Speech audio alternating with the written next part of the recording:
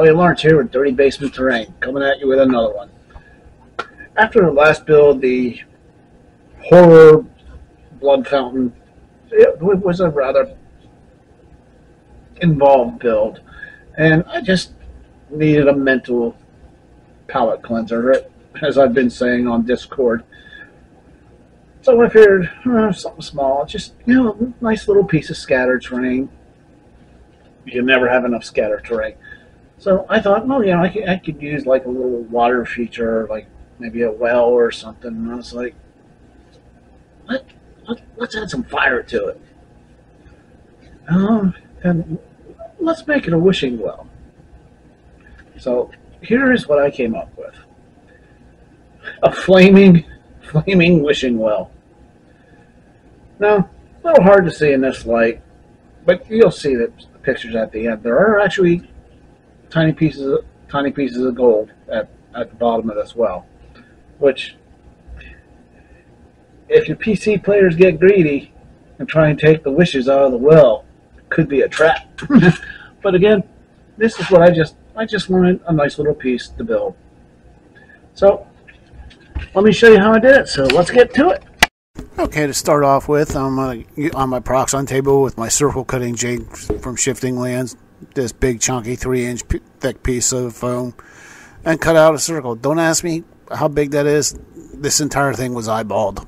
so I was like, eh, that's too big. Let's cut it smaller.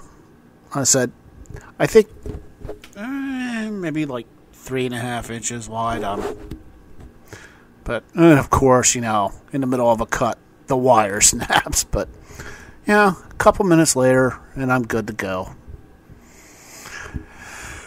it happens. So back on, try and get it to where I had to cut, spin it around. Again, I'm not 100% sure on the size. Again, this is just all eyeballed. But this is the size I'm going to use, so I'm going to cut off two slices here for the top and the bottom. Easy peasy. Okay, now here I'm actually just shaving off a little bit of the outside of the walls of the well because the top and the bottom pieces that I cut out earlier need to hang over the edge or stick out from the bottom. I think it looks good that way, so that's what I'm doing. But I, so right here I'm just shaving off like maybe a sixteenth of an inch at a time. Just take small amounts off, not big big chunks for something like this because once it's off, it's off.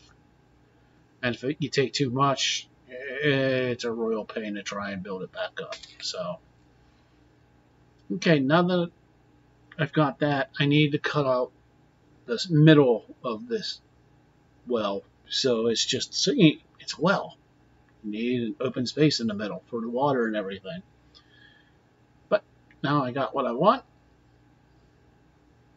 push it out, check it. Yeah, yeah, that works. So now I have the walls of the well uh, cut out.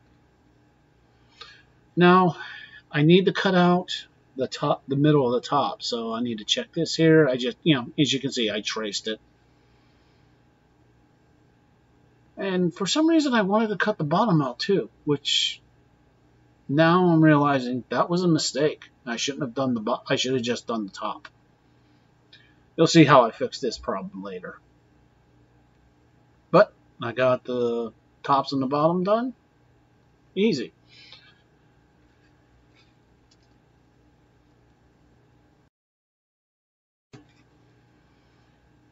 Okay, well, I think it was about this time that I realized the mistake of hollowing out the middle of the bottom one. So this is what I'm doing to fix it. I'm just shaving off some of the insides of that one and it's going to go in the middle of the well here. And I'm going to shave off another slice just so I can have two layers to because the bottom layer of that well is going to sit let it's just to even it out. Okay, now I need to actually start making the pedestal or the where the cauldron sits.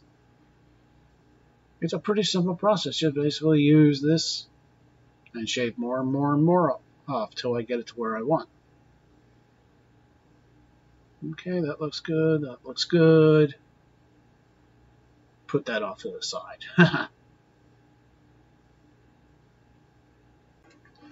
As you can see, I grabbed another piece because I realized I had made a mistake during the cutting process. I was like, oh, I was like, well, this is going to be a pain. Well, I have offcuts. Let me grab one to fix this problem I just created.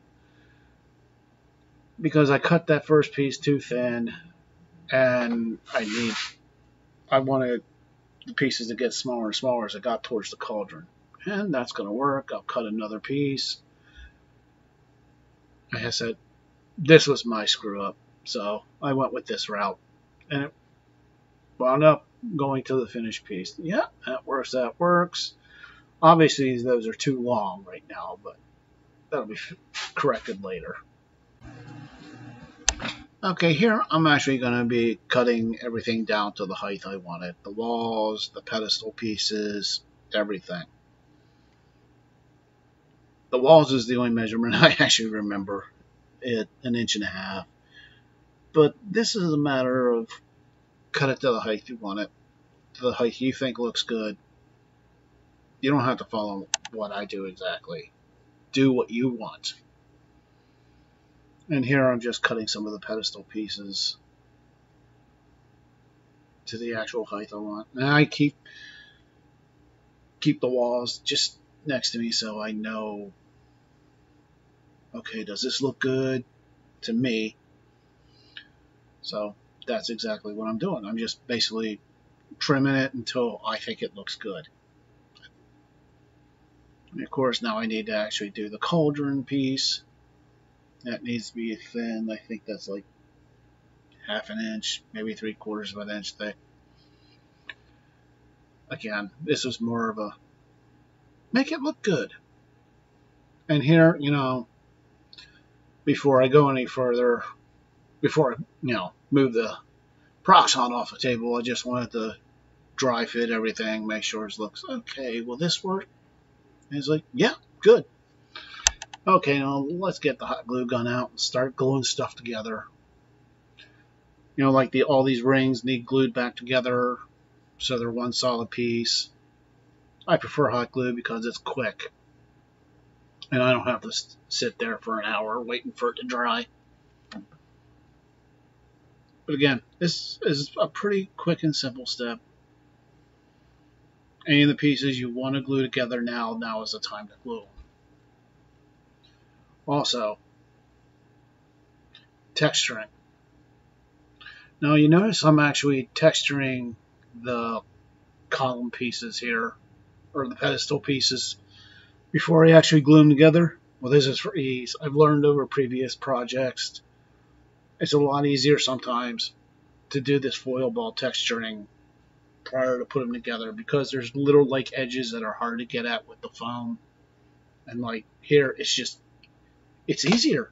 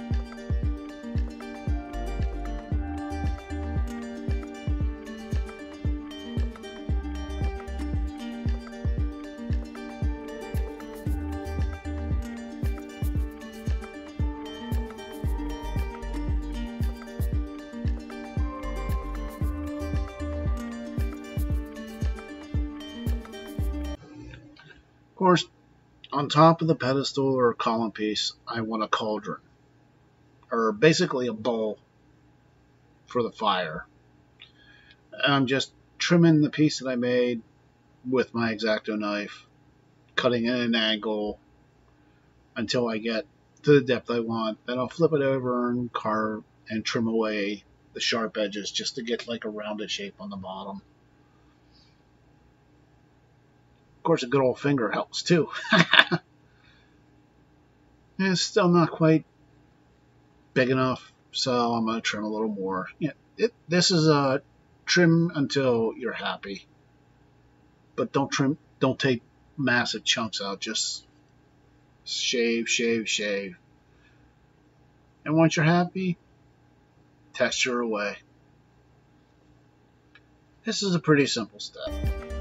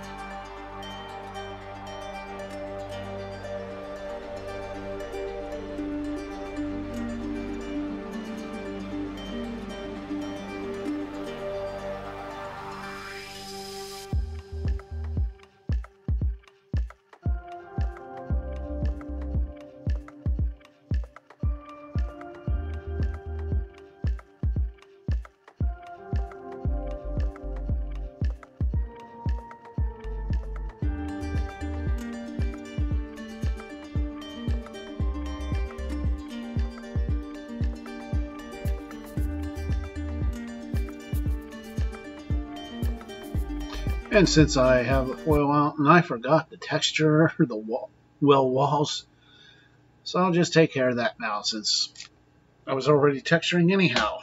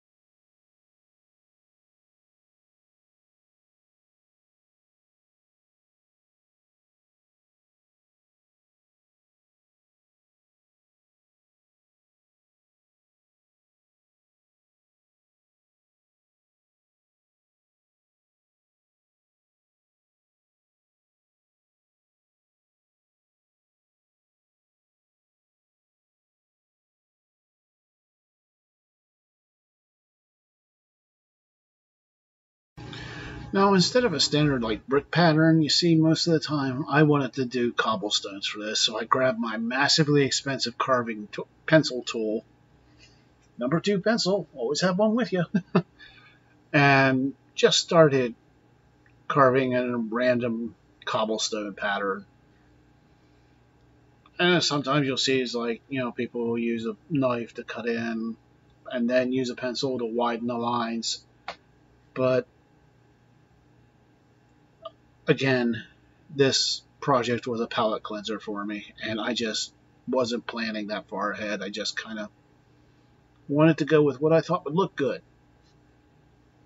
So I just started carving, up, impress, punching in the lines with the pencil.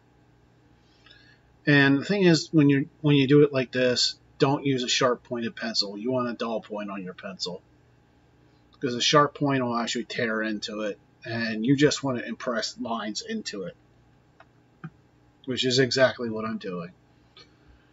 And once I get done with the outside, I'm also going to have to do the inside. This is a little time consuming, yeah, but it actually looks pretty good once you're done.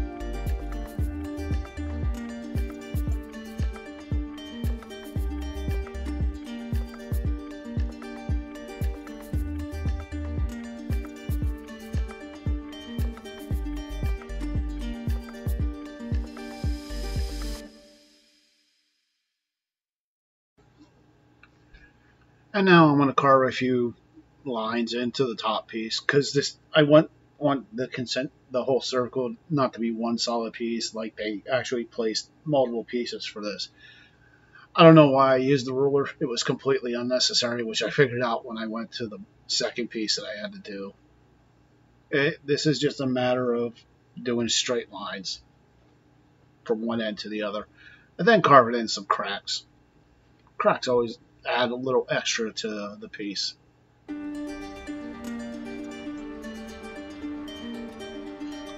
And here I'm just black basing the entire piece. I had some leftover primer from the previous project in a cup, so I just decided to use that so it wouldn't go to waste from the previous project.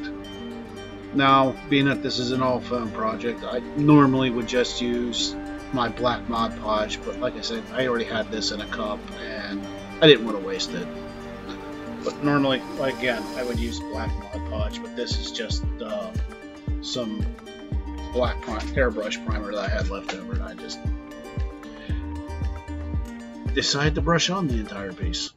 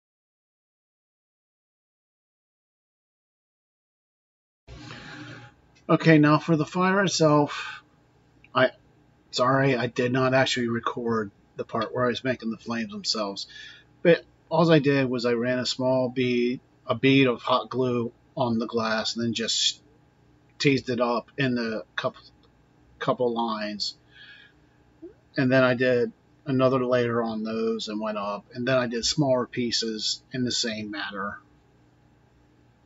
and peeled them all off the glass and now I'm actually gluing them on top of each other as you can see. I forget who I who I wish I could remember the name of the creator that put a video out doing this method but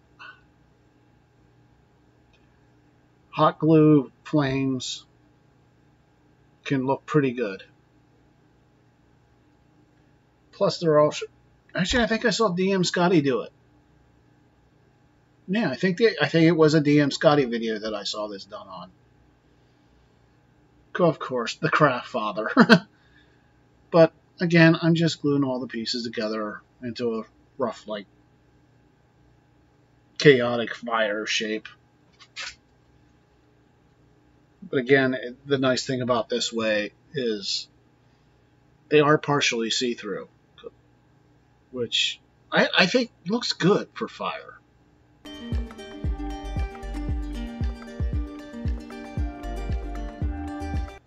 Of course, now I'm going with my go-to dark blue gray from Apple Barrel for my base coat for all the stone work. And I said with this, I'm going with 100% coverage. Now, you notice I have, I'm not pick. It wasn't until like the last minute that I decided to paint the cauldron in stone color. I had toyed around with the idea of going with a metallic, but it, then I was like, eh, you know what, all stone. Now here I've been painting the cobblestones in random color and then using a tattered sponge to put it on the flatter spaces and on the column itself.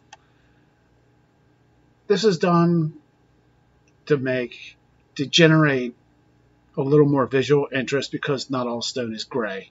You're going to see streaks of color or different color stones. I do this for a little more visual interest. Okay, let's get the midtone on. Now, this is my go-to for midtone, which is pewter gray from Apple Barrel. I'm going for like 75, 85% coverage. Leave the deepest recess alone. And this can be a little bit annoying trying to get the inside, but at this point, I'm committed, so I'm going to do it. Well, maybe I should be committed. I don't know. but like I said, a 75 to 85% coverage. Now you don't want this is an overbrush, not a like a dry brush, or some people call it a heavy dry brush. I, it's an overbrush for me. And you don't want to get you don't want to put it on really thick either. You know, you're not going for a slow, just a quick, quick, quick overbrush like style, because you can still see a little bit of the other colors popping through, which you want.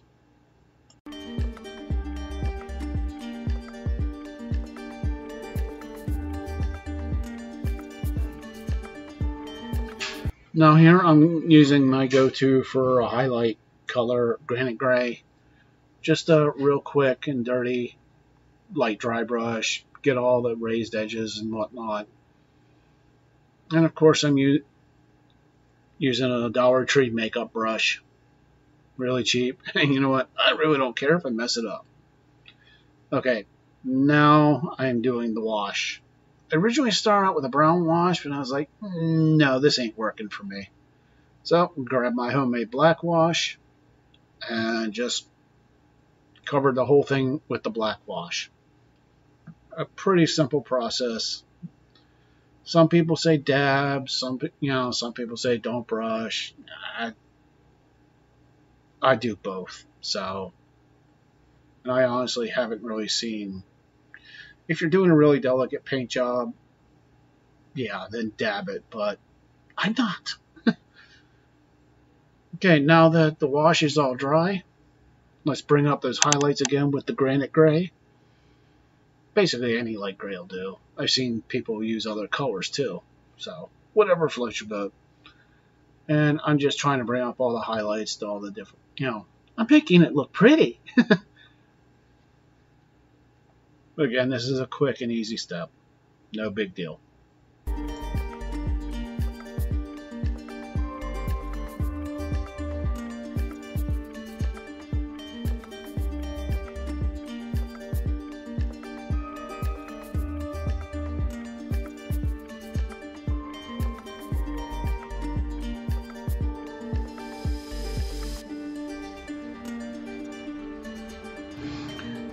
And I'm actually going to hot glue the flames to the end of this the end of this handle for one of the sponge brushes I use just to make it easy to paint later on.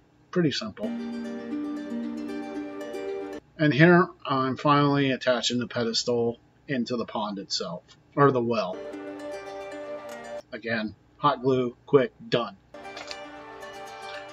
Alright, now I had some again, you know what? I think I accidentally deleted the, most of the footage for this. I just used a couple contrast paints and started out with a yellow, then went to an orange, then a red for the tips and whatnot. But the thing is, I did not let the paints dry. It was kind of like a wet blended fire with contrast paints. Okay, this is a wishing well. Wishing wells have money in the bottom of them. So I got some gold paint and just started doing dots on the bottom. And no particular pattern or anything, but it's like I said, this is a wishing well. This isn't just a well or a fountain. It's a wishing well. So I, I wanted there to be money in the bottom. You can use glitter or anything, whatever you want, but okay. Now let's actually start adding some of the water effects. I'm using these little 0.2 ounce dispensers of 5 minute epoxy from the Dollar Tree, and they can be stubborn to get out. But but I'm also going to be adding like an equal amount of isopropyl alcohol. And for this, I'm adding some black ink. Now, adding the isopropyl alcohol will make it flow so much easier and quicker and better and will also actually extend the light, extend your time of using it a little bit. Not by much, but a little bit. Oh, just going to pour it into the top here. This is supposed to be oil. And then plop the flame effect right into it. And hold it for a little bit till it, yeah. Okay, single drop of green ink. And this is going to be the water for the well, it's, well itself. Again, I'm using the same 5 minute epoxy that I got from the Dollar Tree. And this, these things can be stubborn to get out sometimes. But for this, I'm going to use two of them just to make sure I have enough coverage for the that will cover the entire thing. And I will be adding some isopropyl as well again. But this is a pretty simple process. And you know what the thing is, if I didn't add the isopropyl, five minute epoxy would never work for what I got to do next. But again, just stir and stir and stir it really well till it gets like a silver sheen to it. And it'll be good to go. I know I stir it a little bit longer than that, but I like to be thorough sometimes. and because I added the alcohol into it, it pours it, it flows in there nice, like any, like a regular resin. Now, it wasn't quite deep enough for my taste. I wanted to add another layer, but this I just mixed straight with, well, with some alcohol as well, and then poured in just to give a little more depth.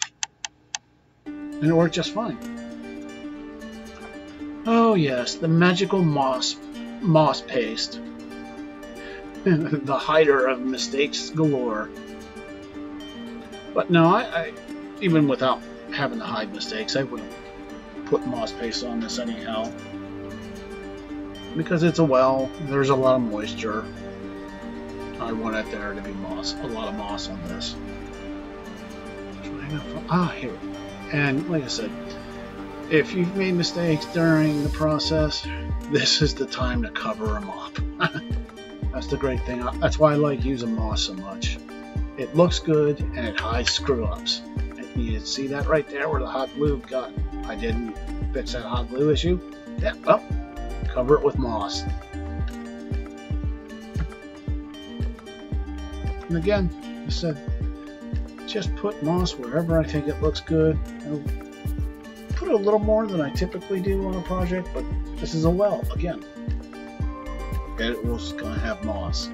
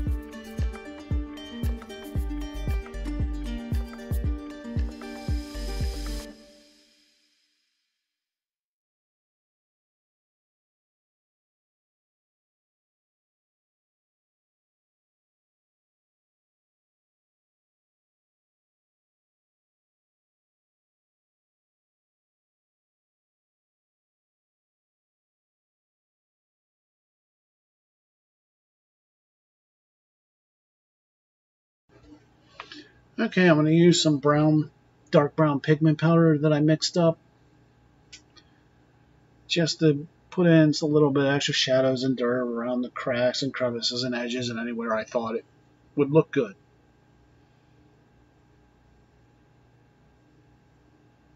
But again, this is a quick and easy process, and hey, pigment powder good. You know what I'm using? More cheap makeup brushes that I got at the Dollar Tree. And if you don't have a Dollar Tree where you're at, you know, there's always like pound shops or, you know, cheap stores that sell cheap makeup brushes. Again, this pigment powder is actually soft pastel chalk that I scraped off into a powder.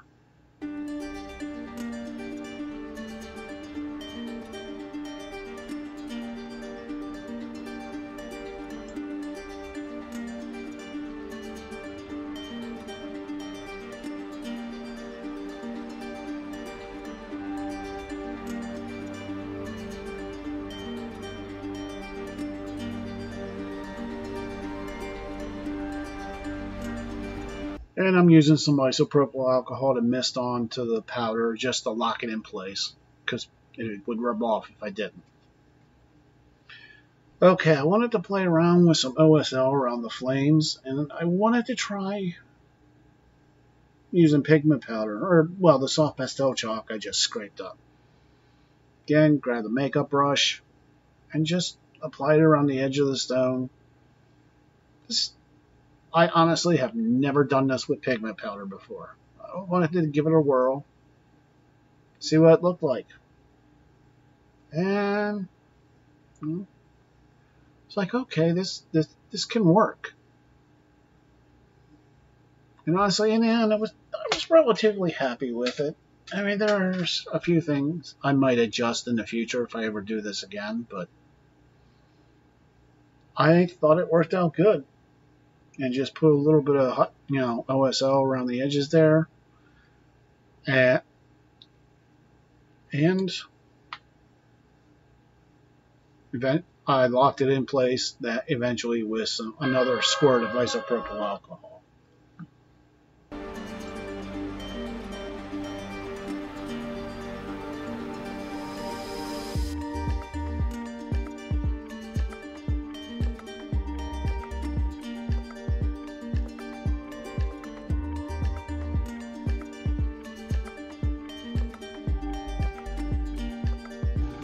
And here are some pretty glamour shots of the finished product. Even with the green tinted water and the second layer of clear I put on, you can still see a little bit of that gold coming through the bottom of the water, which which I was really happy with. Overall, I would say, yeah, I like this project. It was a quick, fun little piece to do. Hey everybody, if you made it this far, it means you made it to the end. As, as always, I know I keep saying this, but it's true. I do appreciate it. If you like the video, hit the thumbs up. If you want to leave a comment, leave a comment down below. If you want to see more, click subscribe. And I don't release on a regular schedule. I release videos as soon as I get them edited and done, basically at the completion of each project. So if you don't want to miss out, hit the bell notification icon. That way you'll be able to see whatever I make. Again, guys, I re really appreciate all the subscribers and everything. When I first started this, I thought, yeah, I'll put a couple videos out. Maybe a couple people, like, no big deal. But I'm over 250 subscribers, and for a channel that's only like four months old, uh, without much, with zero budget. Um, I know I know 250 isn't a lot to most people, but to me, it's encouraging. So thanks everybody. Thanks to all the subscribers. I do appreciate it. Let's get to a thousand. Again, guys, I hope you really enjoyed this video. I know it, this was a simple little build, and I enjoyed making it. But again, guys, as always, the only when you're making your terrain, the only person you got to worry about is you, because it is your terrain.